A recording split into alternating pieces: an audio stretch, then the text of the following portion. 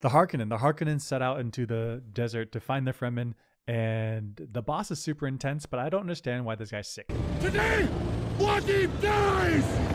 Okay, just tell me. You don't gotta. Okay. he? Nobody heard you. Still negative, my lord.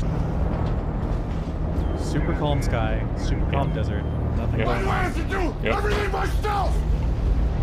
And this guy's puking. Like, what's going on? Like, I can understand if he was on a boat and like rocking back and forth, his tummy feel bad, his equilibrium all messed up. But like these these these uh, planes, these these dragonfly planes, super smooth, super buttery smooth, and I can understand it if there's like explosions, like we're going into death right now. It's terrifying. Like, but this is a pretty casual cruise. Like this is like a private jet right now. So my interpretation was it wasn't any kind of air sickness. It was like the pre-combat jitters. And I found this weird because like are we are we humanizing soldiers now? Like well, what are we doing? I thought we didn't care about the everyday workaday soldier. And I don't care. That's a good point. He's, That's a good point. He's got emotional problems. I don't care. He needs to go die. Damn. Damn. I could join House Harkonnen.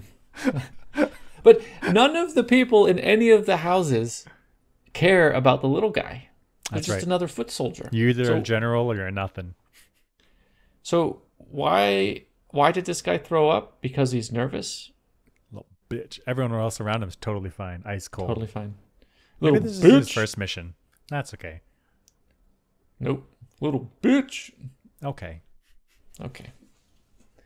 See, we shouldn't humanize people we don't care about. Right. It feels bad. What we should do is look at this room.